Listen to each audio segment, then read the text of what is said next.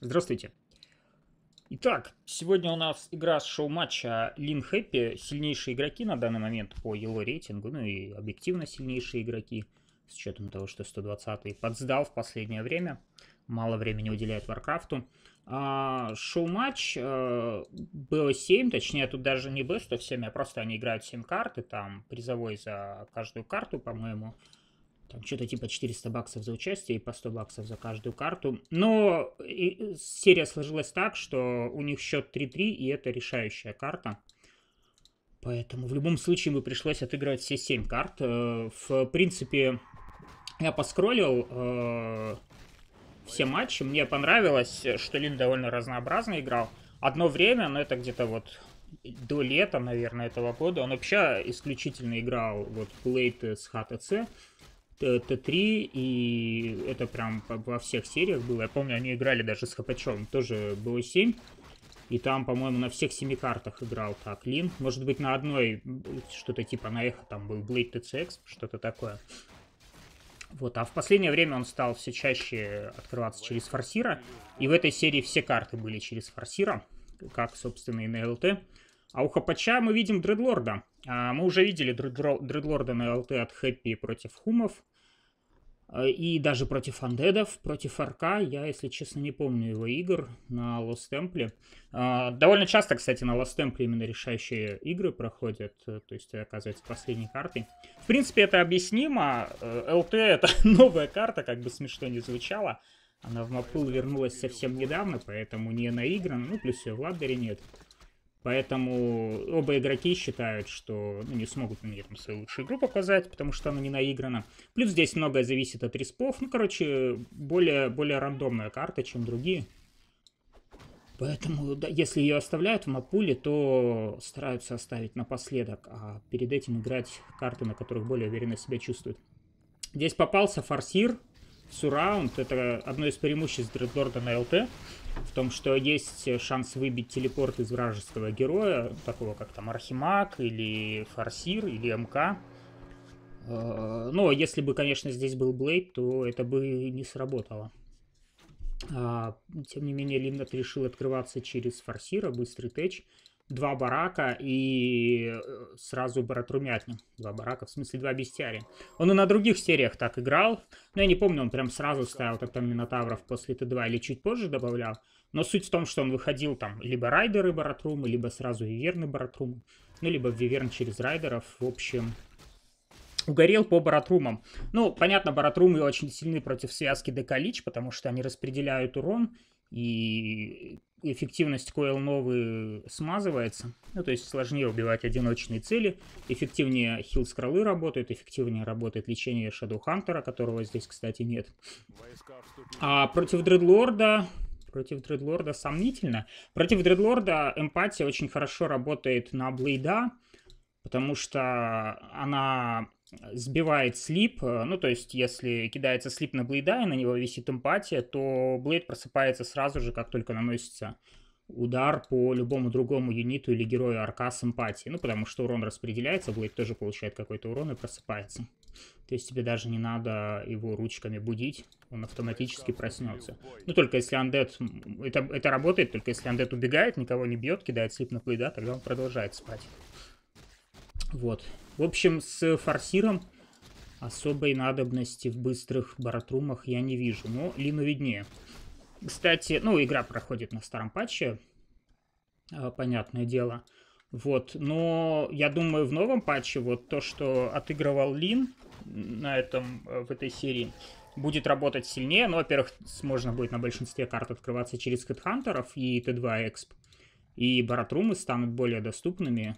Они быстрее строятся, у них быстрее будет учиться грейд. А андеды же никакой компенсации не получат. То есть у арков 25 хп хедхантерам более быстрые баратрумы, у андедов ничего. Ну, там баф некров, это смешно, конечно. А, по сути, ничего, если в текущем виде патч дойдет до лайва. Посмотрим. Так, здесь Lyn нацелился на центр. У Хапача все очень хорошо по экономике. Он поставил эксп с нулем хараса. На всякий случай грейдит спиритку против возможных виверн. А, Lyn, как мы видим, планирует ставить контр-экспанд. Э, здесь, кстати, хорошие респы для андеда.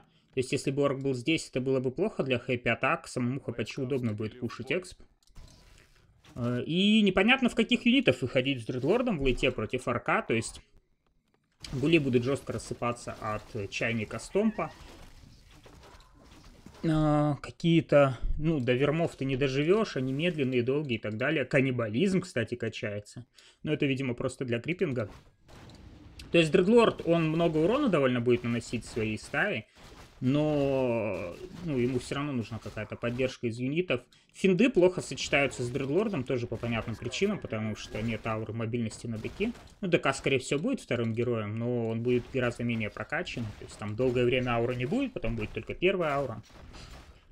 В общем, непонятно. Ну, как правило, с Дредлордом делают что-то типа гулей, дистров. Ну, редко играют в финдов все-таки. Ну, как, как, какая-то аркада с некрами, возможно. Но здесь она не зайдет в любом случае, потому что быстрые баратрумы.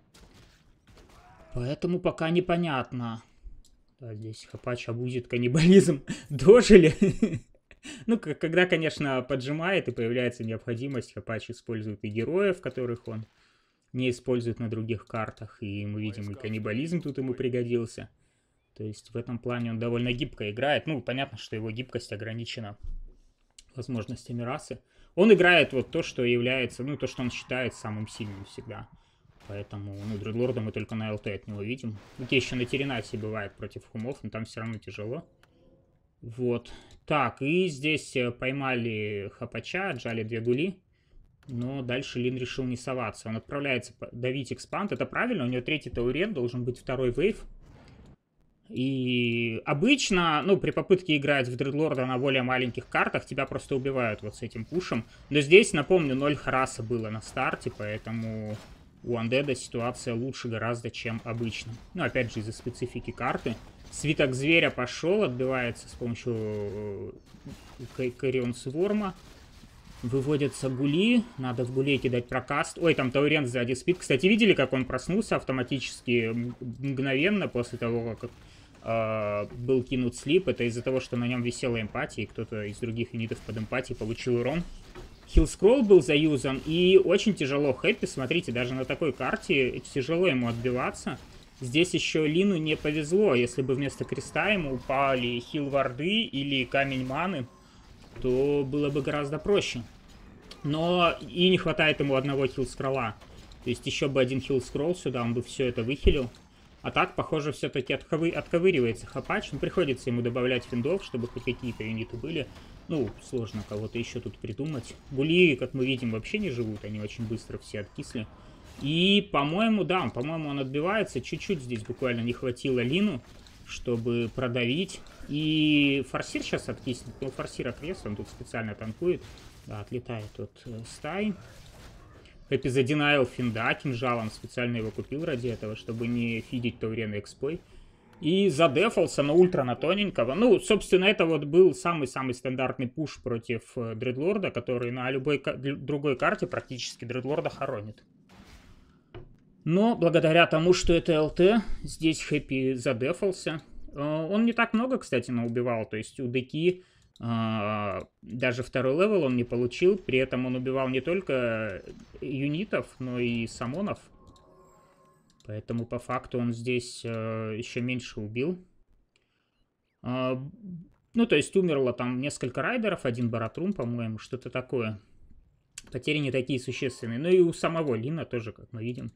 А, ТЦ был ровно третий на момент пуша, сейчас 3.6 но тоже четвертый не взял.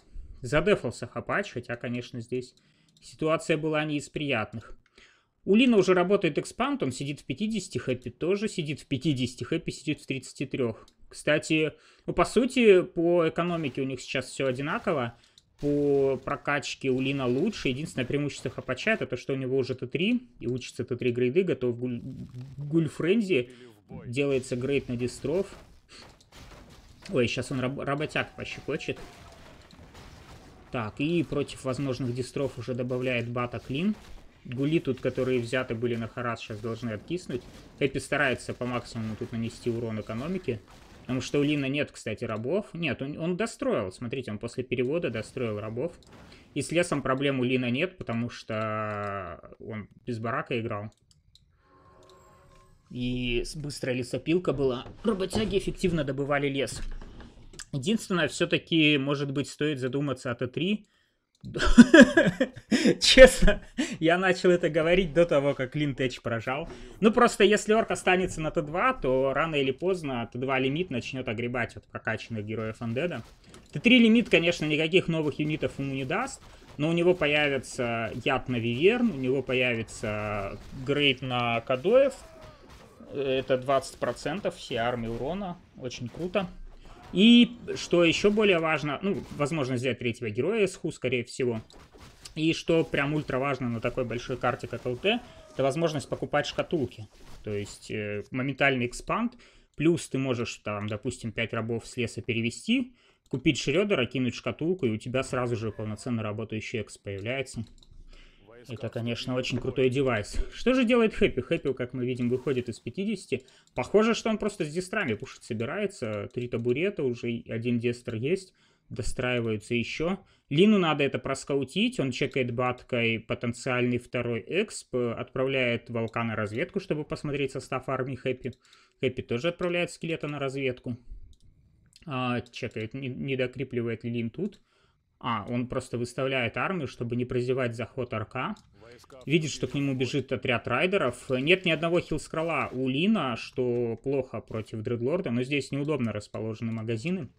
Тяжело бегать за свитками. А у Андеда, кстати, есть свитки в своем магазине, и Хэппи должен купить как минимум один, потому что... Ну, чтобы гули хоть чуть-чуть пожили против Вейва и Чайника. Ой, кривой Вейв в двух э, гулей всего.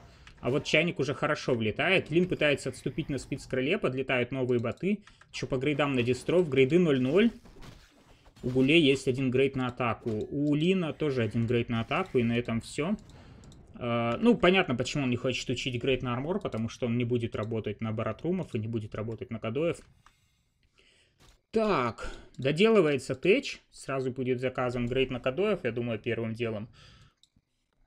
И, возможно, СХ, если ресурсы позволят. Ресурсы позволяют, если лимит под 80. Хэппи еще добавляет дистров и, видимо, собирается все-таки в большую атаку. Купил телепорт, купил банку маны Дредлорду. Скролл. Хэппи, ну нужен скролл. Лич куда-то пошел. Непонятно. Так. Ну, ну как без скролла, Хэппи? Давай. Голду ждет. Ждет 250 золота. Есть, есть скролл. Пошли.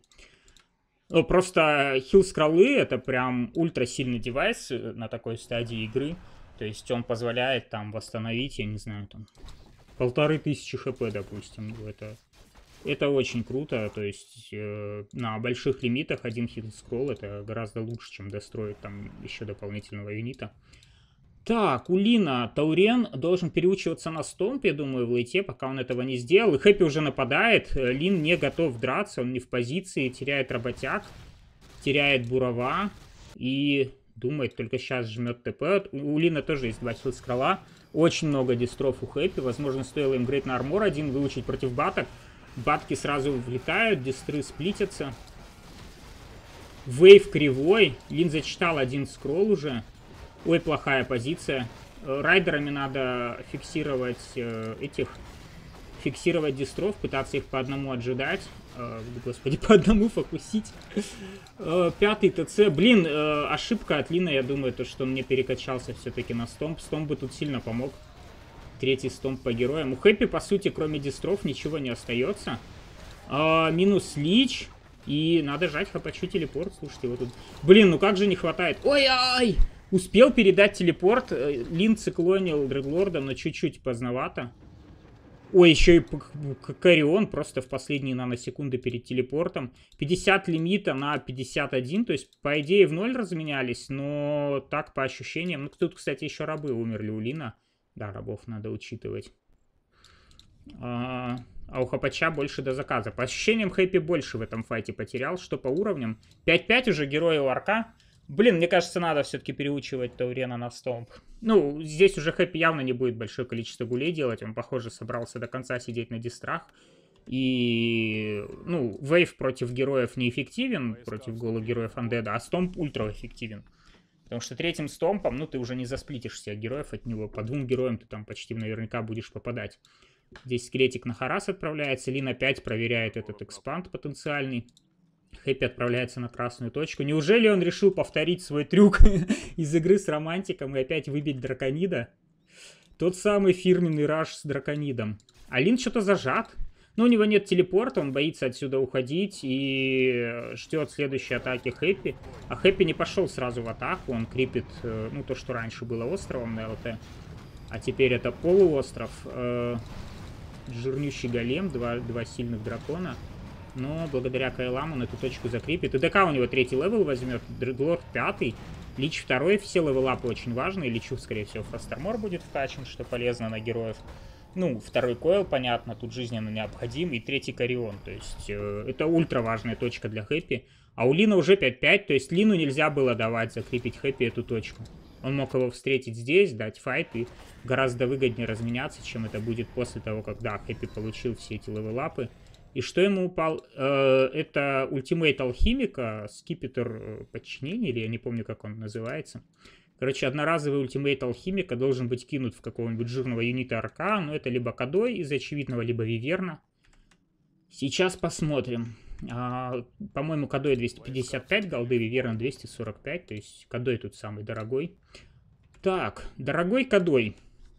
В этих строках Лин пытается за зажать Хэппи. Хэппи, скорее всего, будет делать телепорт, да, потому что у него на базе копится подкрепление. Он пока просто выигрывает время. У Лина даже бетона нет, потому что ему постоянно убивали работяг на экспанде, и приходилось срывать рабов с мейна. Здесь один остался на лесе, здесь еще парочка, здесь тоже один. В общем, по лесу тут все минимально. Лин не хочет туда лезть. У Лина нет э, телепорта, есть один хилл-скролл. Вейв, кстати, хороший по табуретам прошел, но опять же, здесь вряд ли будет какое-то крупное сражение. Э, блин, ну почти, почти уверен, что надо было переучиваться. Продал Кадоя Хапач.